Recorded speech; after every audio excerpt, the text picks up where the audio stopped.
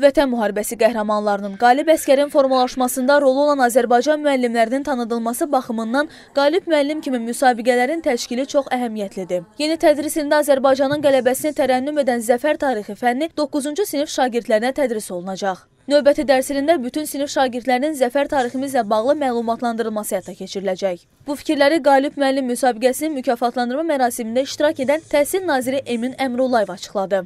Bu özü özlüyündə ə, daha əvvəllər 8-ci sinifdə tədris edilən Qarabağ tarixi, yəni ə, fənninin müəyyən mənada davamıdır, amma təbii ki, gələcək nəsillərə Azərbaycanın ə, müstəqillik illərinin əvvəllərində Qarabağ hadisə, 1-ci Qarabağ savaşında baş vermiş hadisələri və nəhayət 44 günlük vətən müharibəsində Azərbaycan torpaqlarının işğaldan azad olunmasını düzgün bir şəkildə çatdıran bir fəndir. Eyni zamanda ə, bu il pandemiya şəraitində bilirsiniz ki, bizim müəyyən mənada imkanlarımız məhdud idi. Ümid eləyirik ki, növbəti tədris ilindən ə, artıq ə, sinif otaqlarına şagirdlərimiz qayıdacaq, amma bununla belə biz sinif otaqları ilə məhdudlaşmaq istəmirik.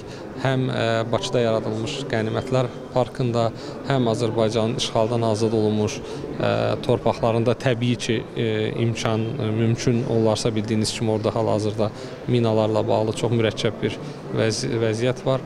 Amma bütün bu tarixi canlı və yəni şəkildə Azərbaycan şagirdlərinə və tələbələrinə ə, çatdırmağı ə, düşünürük və inandığımız da bundan ibarətdir ki, məhz bu cür medianın və ə, müəllimlərin əməkdaşlığı, təhsillə medianın əməkdaşlığı Azərbaycanın haqq savaşının və zəfərinin düzgün şəkildə çatdırılmasında mühüm bir rol oynayır. Tədbirdə çıxış edən Türkiyənin Milli Təhsil naziri Ziya Səlcuq iki ölkə arasında qardaşlıq əlaqələrindən söz açdı. Ziya Səlcuq bildirdi ki, Türkiyə-Azərbaycan arasında bundan sonra da bütün istiqamətlərdə, həmçinin təhsil sahəsində də əlaqələr genişləndiriləcək. Sonda qalib müəllim müsabiqəsində fərqlənmiş 5 nəfərə mükafatlar təqdim edildi.